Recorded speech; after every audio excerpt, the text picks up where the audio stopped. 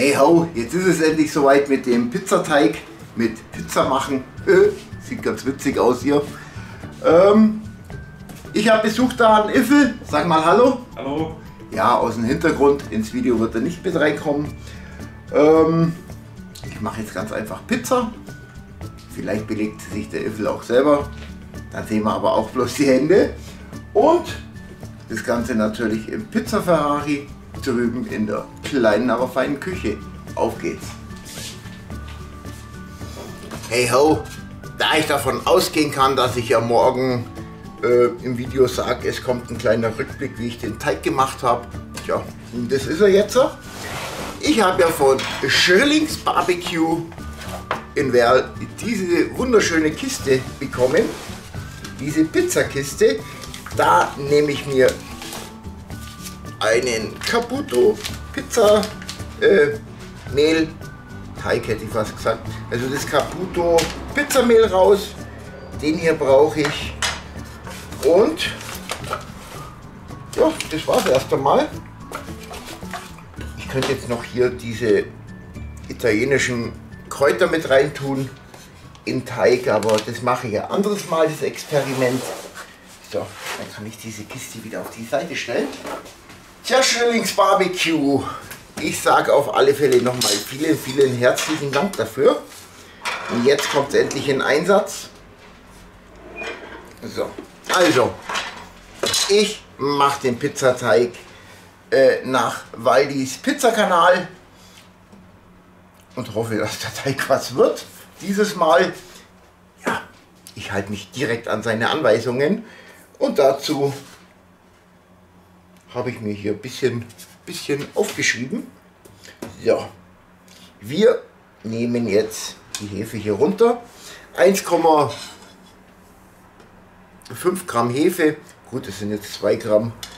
Ähm, 25 Gramm Salz, 320 Gramm kaltes Wasser. Habe ich extra abgedeckt, dass mir hier nicht die Hälfte verdunstet. Tja, und ein Kilo Mehl. Gut. Genau. Jetzt tun wir hier erst einmal das Wasser rein. Ach komm, ich hole euch noch ein bisschen näher her. Der andere hat es ja in seiner Holzkiste mit Hand geknetet und äh, ja, muss ich, muss ich sein, kann man auch mit der Maschine machen, hat er auch gesagt. Und hier tun wir jetzt die Hefe rein. Und schauen, dass sich kaltes Wasser im Übrigen, schauen, dass sich die Hefe auflöst. Einziger Unterschied ist zum Waldi eigentlich, dass ich ein bisschen gröberes Salz habe, weil ich ein feines gar nicht mehr da habe. Äh, gut, ich hätte es jetzt komplett durch die Mühle jagen können, aber naja. So, erst einmal wirklich schauen, dass das Mehl komplett, Mehl, die Hefe komplett aufgelöst ist. Das sollte soweit reichen. Dann nehmen wir unser Mehl, tun in etwa die Hälfte hinzu. Schätzungsweise die Hälfte.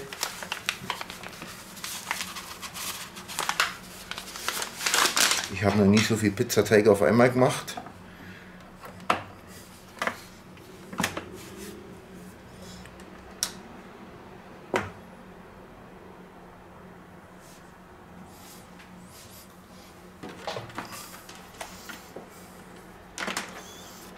Ähm, ja, okay.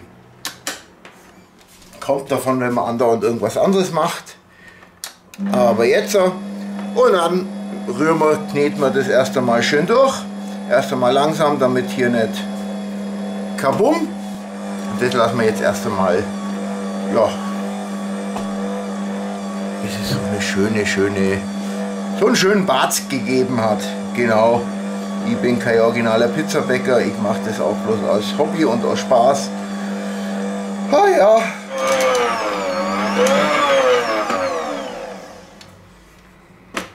Schauen wir mal schnell und wenn es dann so ja, aussieht wie hm, hm, Joghurt, auf alle Fälle sich das Mehl komplett aufgelöst hat, dann können wir das Salz hinzutun. Das tun wir jetzt auch ein klein bisschen einarbeiten.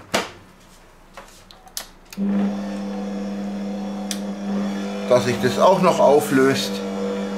Und danach kommt dann das restliche Mehl hinzu und dann wird wieder eine ganze Weile geknetet. Jetzt ist natürlich viel flüssiger, da löst sich das Salz wesentlich besser auf und verteilt sich viel besser. Jetzt wäre auch noch der Moment, wo man in den Pizzateig noch andere Gewürze tun könnte, wenn man will. Äh, Stegosaurus habe ich hier gerade stehen, Taco Garaccia, ein Medikopter oder Medikopter wäre eine Idee oder sonst irgendwas, dann bekommt halt der Boden noch seinen eigenen Geschmack ab. Wäre eine Möglichkeit, mache ich aber dann, wenn dann das nächste Mal, weil es heißt ja nicht, dass der Boden immer gleich schmecken muss. Gleich langweilig hätte ich jetzt fast gesagt. So, dann gehe ich mal davon aus, dass das Salz halbwegs eingearbeitet ist. Und hier schütte ich jetzt einfach mein restliches Mehl hinzu.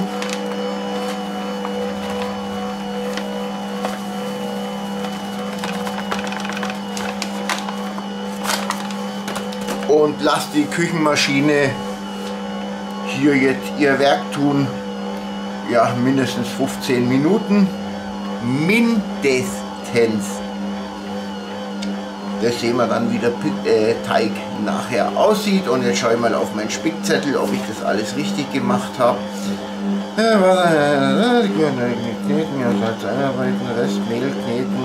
Jawohl, bis jetzt alles richtig gemacht. Und Leute, wir sehen uns ja, wieder wenn der Teig soweit ist. Ähm, das Ding arbeitet ganz schön. Ich riskiere es jetzt einfach. Ich habe keinen Bock, das zu kneten. Der Höllenpizzateig. Tödlich für jede äh, Mumm-Küchenmaschine. Oh, so langsam fühlt es sich auch richtig gut an, der Teig. Vier Minuten noch und dann ist gut. So, das sollte reichen. Teig sieht gut aus.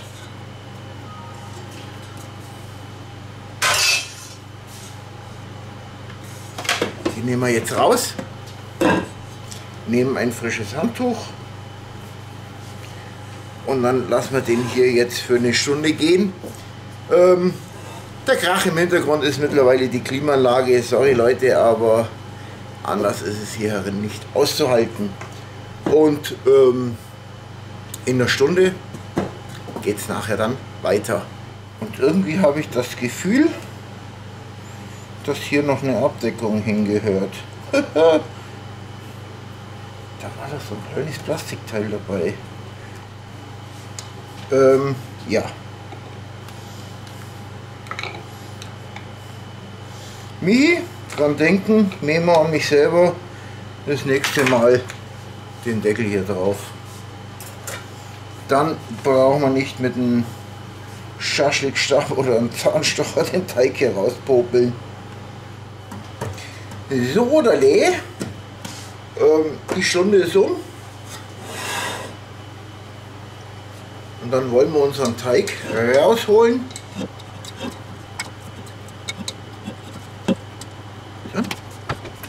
Ähm, Im Video sagt der Waldi, er macht sechs Teile, aus dem ich werde acht Teile draus machen, weil ich meine Pizza ja etwas kleiner mache. Oder meine Pizzen, Pizzas.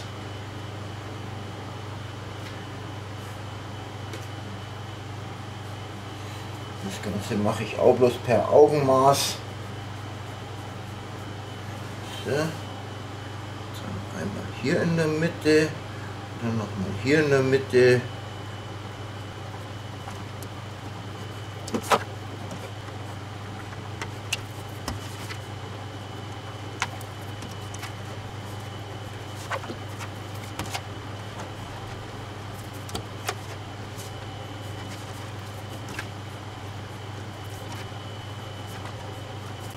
So. 1, 2, 3, 4, 5, 6, 7, 8, jawohl. Jetzt tun wir so ein bisschen schleifen.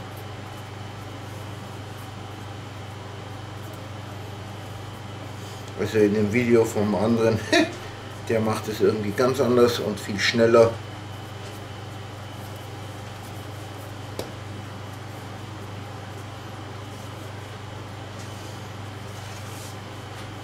aber ich habe da eben nicht so extrem die Übung drin.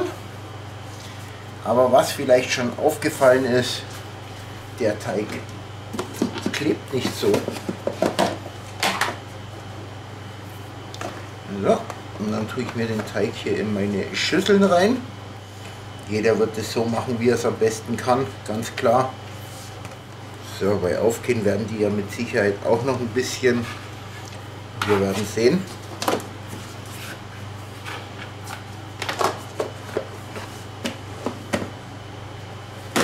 Und das Ganze wird jetzt für 12, 18, 24 Stunden oder auch noch länger im Kühlschrank aufbewahrt.